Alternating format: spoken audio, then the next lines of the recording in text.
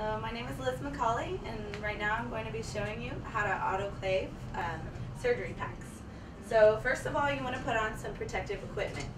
Put on a lab coat, um, some protective eyewear, as such as lab goggles, and then some insulated gloves. And these will protect you from getting burned. So once you have your protective equipment on, I want to open the autoclave here and make sure that there's nothing left inside. Take out any prior autoclaved items and grab your packs to be sterilized. Place them inside. And you want the packs to fit in there loosely. You don't want to be jamming packs in there because then they won't be properly sterilized.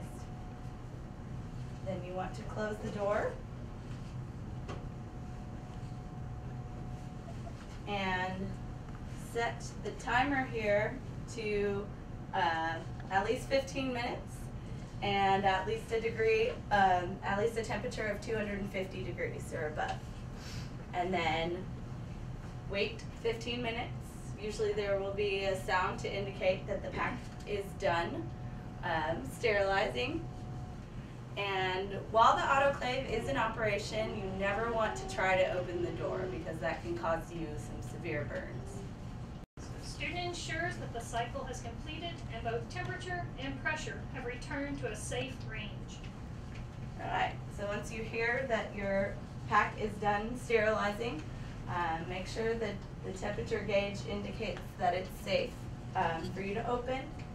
And you just want to open the autoclave and let the door open just one inch or less um, to let some of that steam escape um, and to prevent you any injury.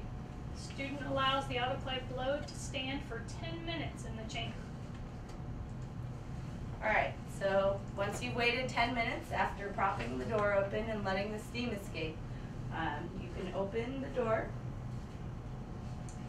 And Remove items and check that the autoclave indicators have been activated.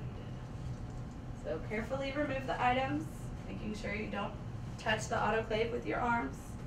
And make sure the indicator strips on the outside of the packs have turned um, black or brown normally.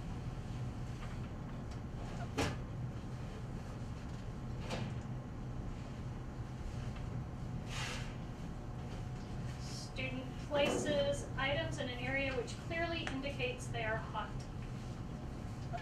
So you would have a sign that would say, this tray is hot, so that nobody would come and um, touch the packs without gloves. Student shuts autoclave door.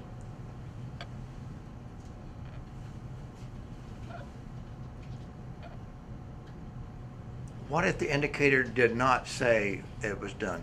You would have to re-autoclave. Okay,